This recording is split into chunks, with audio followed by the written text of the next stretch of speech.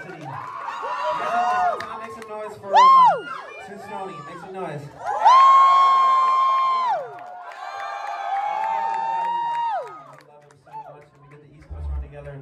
We spent the whole like tour just watching Christopher Nolan movies, and we're like, let's do a part two so we can finish up the series. You know this is for you, out blue